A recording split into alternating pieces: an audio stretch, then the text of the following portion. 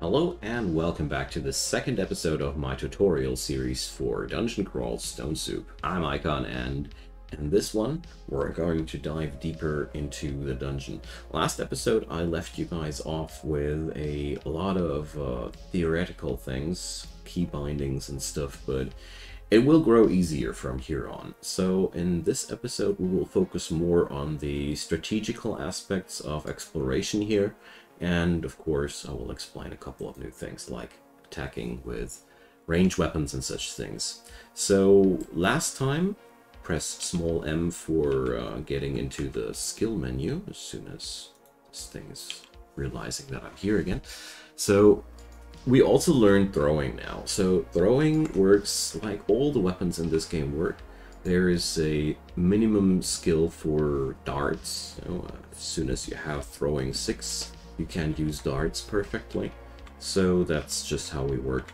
We can also pick up stones to hurl them at our enemies, and, well, we're going to do this for the sake of, a, uh, of tutorial ideas, but I would not use stones too much as a Minotaur.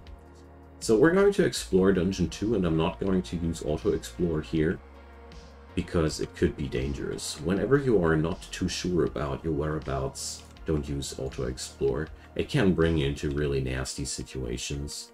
And whenever you're exploring, always keep an eye out on where your next staircase is. Here on the minimap you see these uh, little um, cyan-colored dots. They are, they are your staircases up, and the magenta ones are down staircases. So this little layout has three downs has all the three up staircases here on one spot. Because every dungeon level always spawns three staircases of each type. Three up, three down. That's uh, everywhere. That's standard, so, uh, so to say. There are a couple of uh, exceptions, but we're going to explain them later. And so far, Dungeon 2 shows itself pretty, pretty empty. One word about enemies. Every enemy you kill stays dead, basically. This game has no longer respawning enemies. A couple of versions ago it had that. But nowadays, if a floor is cleared, it is clear. So we found a new scroll, and let's just keep it and try it out at the staircase of the next level. And here we go. There's uh, three enemies here, but we really don't have much to fear about them, but we would if I would just take that fight now out in the open. So if I would just stay here and fight that, that could possibly be pretty bad. So instead, I'm walking back to this choke point here, where I can effectively make sure that only one enemy can attack me at once. This is really important all across the game to pull your enemies into choke points where you can minimize the amount of enemies attacking you at once. So since I don't want to move right now, I press the dot, dot button here to wait a turn. So now these beasties are closer to me, let's start whacking. We already know how that works, so not much more to explain and we just hit level 3. So level 3 is a point where you get to select what kind of increase in attributes you gain. So we gain attributes at random at level ups, but at certain breakpoints you can select what kind of level, what kind of attribute you want to have. So in this scenario, I'll opt in for dexterity because that will enhance my my skills in the usage of shields. You could also opt into strength that would make you hit harder, but here I didn't like to have dexterity below 10, and every race has a certain bias towards stat growth. So Minotaurs tend to develop strength on level ups more often than dexterity. You can all check that out in various help documents. You're, uh, you will find all that when you press question mark and there's a really really huge amount of uh, information here in the manual contents and I, if you are really interested in all these, just uh, check out the information about species and such, and you will find a lot of information there. So we're going to keep exploring here instead, And here's an endoplasm. So let's check out this dude, X and V. And as you can see here, this I show this dude because he's the first uh, enemy that features spellcasting. So not only does he have the usual traits of a slime, it's uh, immune to blinding, it can see invisible as a matter of fact, it's also mindless, but it can also cast a freeze spell. So you see that spell would deal 1d5 damage, and if you press now small a here or click that, you also get a description of that spell. I highly recommend you to check out how these things work. So I'll wait a turn now and smack it. So the, the nice thing about Minotaurs is they have a extremely high skill in whacking stuff very early on due to the very high strength and a very high aptitude at learning everything combat. Aptitudes are multipliers for the received experience. So basically there is the the Minotaur learns faster than any anybody else when it comes down to fighting, but check out that minus 4 aptitude on spellcasting. That also means this race is exceptionally slow at learning spellcasting. Now, we've seen here a chainmail, so let's press X and V, and you see here this is a nice upgrade to what we're what we're wearing right now. So let's let's let's change equipment this time. Press G to pick it up, and we're now using capital W to wear something. Now, you see, I can select that. You can also mouse click that or, or select the... I always use the, the respective letters on the keyboard. It's up to you. And now we equip the chainmail. So press N, and now you see you start removing your armor, you finish taking off, you start putting on. So this takes several turns of time. Whenever you want to change armor, do that at a quiet and safe space for your own well-being. Now, my AC has improved, and that's making me happy. Now, pressing D and selecting the chainmail to get rid of it, press enter, and we're good to go. I'm not equipping the plate armor yet, because I want to wait until my armor skill has increased to mitigate that encumbrance a little bit more. It's just like with weapons, you shouldn't equip heavier weapons than you're able to wield. I'm going to demonstrate that later on, on some fitting example. And oh my god, look at this beautiful fight. Now this is this is trouble. So you also see a nice uh, a nice thing here. You see that Hobgoblin is uh, in dark gray. That means he's way below me. That worm is in a bright gray. That means we're we're we're he's a bit below me, but but not much. And the adder is yellow, which means we're pretty even in threat rating. Adders are real menaces in the early game. So when you check that one out, you see it can bite and it can poison you. And really, really nasty about it too is it is fast. That means it will move faster than you. Unlike other enemies that are around us here, so check out that goblin, he if there's not no um, no notion or or no mentioning of the speed of a creature, you can assume that it's as fast as you. So you can't run away from the adder, and poison is can, can be quite deadly. There are potions that uh, cure poison. They're called potions of curing, but as you see here, we have no clue how potion of curing looks like. So we're going to kite back into that tunnel here. So while I was kiting, the goblin tried to attack me and I killed him with the horns. You remember? Capital A, showing the mutations. Eyes have that uh, reflexive headbutt. That's an awesome trait of, uh, of Minotaurs. So we're now kiting back, and now as a Minotaur, adders are not not nearly as deadly as they are to, to more vulnerable species that have a weaker early game. We're going to take it serious, nevertheless. You see, I have these Atropa darts in my inventory, and if I would hit that thing with those, it would be blinded and confused. Wouldn't that be great? So let's do it. To shoot stuff, you use the small F, to enter the fire mode. So now when I, I pressed F once and you see I have now this uh, this trail on my cursor. This shows the uh, line of flight of the projectile and you can also aim with that.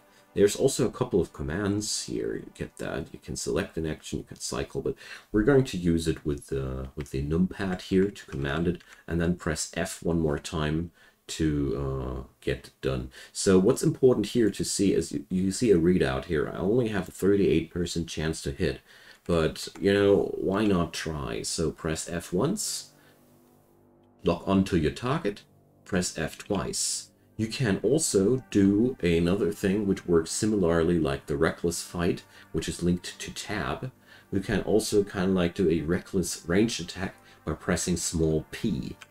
Then you will throw the your uh, or, or fire your neck your your quiver thing at the next best enemy without asking you how to aim at it. Small p is really cool to to get rid of that um, that tedium when you press F and you have to aim.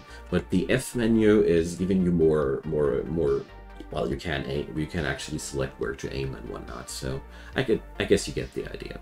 So sadly, we didn't hit the adder once. That's because adders are also pretty good at evading. So it also has a 62% chance to evade my longsword attacks. So you see, this thing has a lot of. Uh, a lot of shenanigans going on. So we're going to try to swing at it now. I have exceeded my uh, my options here, so I get bitten and I'm poisoned now. You see here, I have a change here. So that yellow portion here is depicting how much damage the poison will do before it wears off. Poison that deals a certain amount of damage and then it goes away. So let's try a second swing. That didn't work. Third swing didn't work step back one more step. Fourth swing didn't work. Fifth, and now it just... That's the thing, I just hit it once and followed up with a, with a headbutt and the adder is gone. So Minotaurs, Minotaur fighters have that combination of two attacks, not only the weapon but also only uh, but also the natural attack, decent AC, a lot of HP, and th therefore they can most of the time tank out the damage that the adder will do, even if it goes bad like it did here. But this is how you should start to, to tackle more difficult uh, combats. So we're taking down that hobgoblin, and there's still the worm. Now, if you check out the worm, the most dangerous part about this thing is it deals up to 12 freaking damage, and it will hit me quite likely. So it's also very slow though, so that's a very, very uh, good thing to know. So these dudes, we could now also try and kite this thing to death. So let's press capital Q to change the item on Quiver. I don't want to toss Atropa darts at that thing. That's the worm, I don't want to blind it. So we're switching over to the stones. Now, we already know how to fire stuff at the worm, either by pressing F and F yet again, or P for reckless uh, shooting. So I hit it, but I do no damage. I hit it, I do a little bit of damage, and now I start walking away from that dude. He's very slow, so he won't be able to catch up with me. But sadly, the stones do not enough damage. But if you, if I had a heavier ranged option, I could kill that thing this way. I could also walk around that pillar here, collect those stones, and try again. But we're going to kill that worm now, so by by by bashing it. So let's uh, whack it. With the worms, there's one good thing. If they start hurting you too much, you can always run away from them. The worms are basically the first uh, lesson in the game of kiteable uh, and introducing kiteable enemies. With the worms, you can always decide whether you want to follow that fight any longer or not or you can just uh, kite them and shoot them like I showed you here. So Terence the Incautious comes into view. This dude is the first unique that we're going to face here, alongside with that goblin. You see that question mark right next to his icon? That means he's awake, but he didn't realize my presence yet. So I'm going to move away and just hope that we can avoid his attention. Because, you know, I don't really want to fight this dude on, on such random terms. With unique enemies, always try to catch the ideal situation when you can. Like something like that. This is pretty okay. So we're pressing X and V to investigate this dude now. So whenever you meet a unique enemy for the first time, please check them out what they do. They have very, very different skills and traits, and sometimes you really need to know how they work to, to accordingly beat them. So this dude here is not much more than a piece of work in pretty good armor. He has a falchion that's not really a good or uh, strong weapon, and he's wearing a plus 3 scale mail of cold resistance. That would look good on me, I think. So we're going to get in there, and this is how I always take difficult, more difficult melee enemies. First, we're going to press capital Q again, quiver that Atropa dart, and you know, I'll just give it a go. I have 61% chance to hit, and I didn't. So I'll give it another go, because I consider it extremely useful to debilitate my enemy. If you have stuff like this, something that can confuse, blind, or whatever, use it against melee enemies, it's extremely powerful. So we're now getting closer, and we're starting attacking him. He's blinded and confused, and we now took advantage of that situation so good that he already lost about 50% of his HP. Now I'll just try to keep going without any precaution, but you see the next swing took me down for 10 HP. I think I'll just uh, give him another Atropa Dart and uh, keep whacking. He's not confused anymore. Well, let's swing one more time. But you saw I was already pretty low on HP. In that situation, if I would have not had the Atropa darts, I would have used the Potion of Might. But in that situation, the Atropa darts were really what uh, what turned the tide of the battle there. So this was also difficult because this dude had this uh, chainmail of cold resistance. So I investigated now, and I see it will increase my AC furthermore. So we're going to wear that. Capital W, select that, and not only did my AC go up, my evasion did go up because the encumbrance of that chainmail is lower. That's one thing, heavy armor is really bad at dodging. That's why my character here won't study dodging too much if he's wearing plate armor. Basically, if you plan on wearing plate armor on your character, you don't need to skill any dodging because you will be pretty crappy at it at, at all points of the game. You can of course learn it if you really don't know any anymore where to spend your um, experience points into, but you shouldn't. So here's a darts uh, slug. Let's uh, examine that here. This one comes with an innate spell-like ability. You can also uh, examine them and here, this part is the most interesting. So this depicts how many squares range a skill has. Sometimes this can be really, really, really interesting to know. We're just going to whack at it, and since most of the floor is already explored, I'm going to auto-explore now with small o, and I'm done exploring now. So another thing that you can do to traverse dungeon levels quickly, you can press capital G for go, and then you get asked where you want to go. So I press now D, and now it asks me what level of the dungeon. You see, I'm at dungeon level 2, and if I enter 3 now, it will automatically check out the next best staircase and take it for me. A pretty uh, convenient way of navigating the dungeon if you are too lazy like I here to, tra to traverse to the next best staircase. We find a scroll here and a ring, finally jewelry. So you see a plus 6 ring of dexterity, and it's green outlined because you always pick up these things. Another thing, I will drop the stones now because they are really bad weapons in general. They are the worst throwing weapon that you can get. Base damage 2 sucks real hard. I just wanted to have them to show you how to use ranged weapons in general. So a Ring of Dexterity, it really does what's on the label. It increases my, my dexterity by 6. To put it on, you need to press capital P and select a piece of jewelry and put it on. So it didn't really do much. I did now, I have now a dexterity of 17 and my shield rating went up by 1. So press capital R to remove and you see here shield 4, capital P, put on shield 5. So that's why I don't want to invest too heavily into dexterity.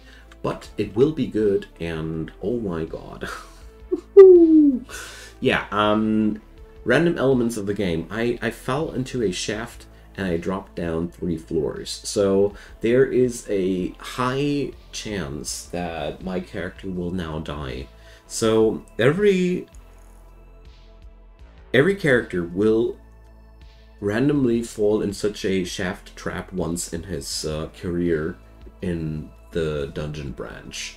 So you will have to tank that. Three floors down is the worst case scenario. It can't get much worse than that. So usually you get shafted by one to two floors. Well, let's press enter and take it. So I hear the sound of rushing water. That's very, very unfortunate. This uh, depicts that we have a a portal to a bonus level, but that is on a on a timer. Okay, RNG.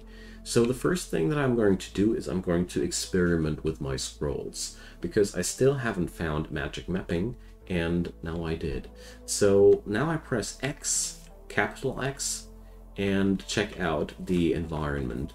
So I'm pretty sure that the uh, bonus level entrance is here, but I am sad, but I have to see that I get out of here. This is dungeon level 6. I want to get out here as quick as possible. An iguana, well, we checked that out. It can bite for up to 15 damage. So these enemies here are extremely dangerous compared to what I'm used to. The jelly down here can corrode you, and it does a lot of retaliation damage whenever you hit it. Corrosion lowers your weapon quality and your AC, so I'm just uh, pressing 5 here and pray that nothing comes to get me. And we're heading now directly to the next uh, to the next staircase. Here I found my, my first shop. Shops can be entered just like uh, staircases uh, with the same uh, symbols there. And I'm checking out what this guy sells. Wands. But sadly, I don't have enough money to buy myself anything. But these wands are pretty good. Wands, well, you can already... I think you can already figure out what they do. So, we're going to explore that as soon as I have some. Let's get upstairs. I'm at dungeon level 5. This is good, but still not good enough. We have to get out of here. So I found my first wand, a wand of charming. So this is a really useful tool because it will try to convert a enemy to my side for a period of time. We will put that to good use later down the road. Wands are, are linked to the evocation skill, which means the higher the evocation skill, the more oomph behind the usage of your wand. Since I feel quite desperate right now, I'm going to turn off throwing and I'm going to focus into evocations. Because I have a bad aptitude, I want to learn it as fast as possible. And here we are right in how this game works, adaptation. It forces me into a very bad situation and now I, I will take whatever power tool I will find and change my skills accordingly. Because wands can make quite the difference. And, you know, a lot of hard-hitting enemies are dumb, and who's dumb is easily to, has no high magic resistance, and who has no high magic resistance can be easily charmed. So, but this dude here is a small demon. They are really not that dangerous. I just lured him around the corner to have him as far away as possible from the unknown here. When I'm in a situation like that, I really try to um, take any en every enemy and every fight one at one by one to avoid situations like these. So here we ran into a fully fledged orc war party. So this is pretty bad because they have a priest. Short summary, orcs are pretty harmless for me. Wizards are dangerous because they can confuse you. Priests are extremely dangerous because they have that smiting spell, which deals 7 to 17 damage and they also have a pain spell, which uh, also deals a lot of damage. And the worst thing about the smiting thing is they can do that even though their buddies are in between them. Every projectile attack in this game cannot be fired over the heads of, uh, of other people. It will hit them. smite spells like the smite of the orcish priest can do. So the first thing I'll do would be to check if I can fire an Atropa dart, but I can't. It won't hit the orc priest, it will most likely hit the orc. So what I'm going to do now is step around the corner and make sure that the orc priest doesn't see me, because as long as he doesn't see me, he can't cast stuff at me. So we're going to retreat for now, and what I'm going to do is I'm going to step onto that staircase. So I'm now waiting until the orc gets close, and now we're going to fire that Atropa dart and check out if I can hit somebody. There's an invisible orc wizard between me and these, so I'll have I'll try if I can kill him. I did. That's very good. I closely monitor now my HP while I'm fighting this to make sure that I immediately react once this happens. The Orc Priest mumbles prayers, so that's where I get out of here. You know, I can only tank two more of these spells, and I don't want that. So I'm stepping onto the staircase, and I'm now going downstairs. So I now have that orc right next to me. He followed me, and we're going to take him down, and now I can rest up. So enemies upstairs will only follow you downstairs if they are on an adjacent tile to you. This is the famous stair dancing. Now we're going to get back upstairs, and now, well, the dude has invoked the rage here again, but it's... He's standing right next to me, so I'm taking one swing. Alright, I hit. Taking two swing, I hit again. Well, we're going to hope that... Okay, we took him down. If the if this fight would have went worse, I would have uh, sipped in that might potion yet again. Alright, we did it. I'm resting up. And here's the Dagger of Freezing. This is sadly much weaker than my my longsword, but weapons with a off something are so-called branded weapons, and they are among the most desirable weapons in the game, but not if they are a dagger and you're wielding a sword already. That's because of the massive difference of base damage. So the adder is not particularly uh, frightening. And now we're going to find another up staircase. And now we're already back at D4. Only one floor beneath what we had when we were shafted. In situations like these, you really have to take things very, very careful. And here's our first ogre. So ogres are among the biggest piece of bad news that you can meet early on. This dude can deal 17 damage without his weapon, and then comes a giant club with which uh, roughly deals uh, similar damage. So translates to he can't kill me with two blows. So what I want to do now is I'm going to stand here and I'm now on the staircase. Now, now I'm, I'm evaluating.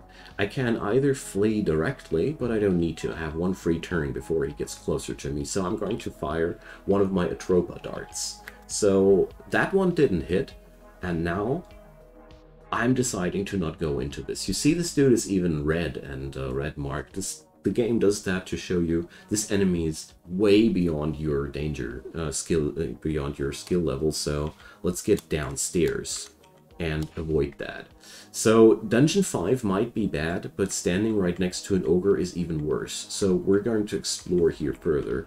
And in one of the major lessons of mastering Dungeon Crawl is to learn that you don't have to take every fight. And you have to learn to avoid a fight to just take the other staircase where there's another staircase right next to that. I think RNGesus has shown me a very, very nice example of why that's way to go.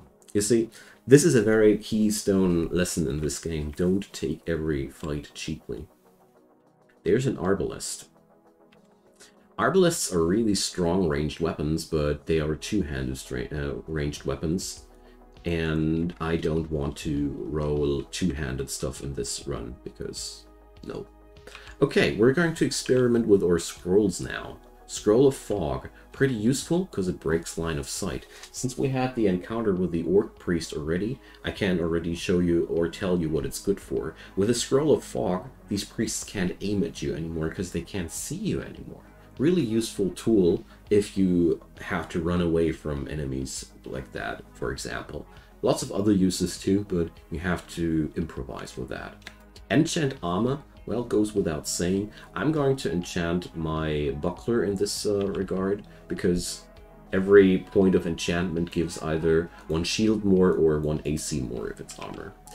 Now, Scroll of Silence. Now, that's a tragedy that I have wasted that, because Scrolls of Silence are the most powerful tools to shut down casters in this game.